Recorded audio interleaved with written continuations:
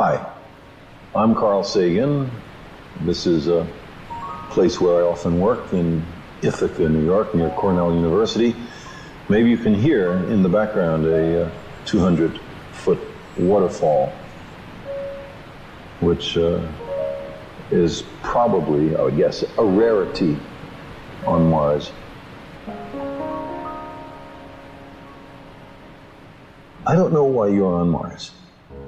Maybe you're there because we've recognized we have to carefully move small asteroids around to avert the possibility of one impacting the Earth with catastrophic consequences. And while we're up in near Earth space, it's only a hop, skip, and a jump to Mars.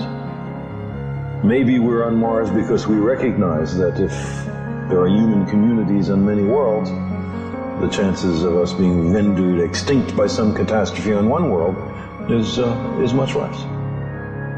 Or maybe we're on Mars because we have to be, because there is a deep nomadic impulse built into us by the evolutionary process.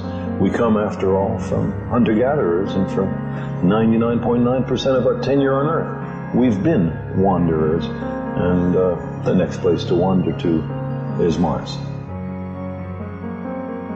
But whatever the reason you're on Mars is, I'm glad you're there, and I wish I was with you.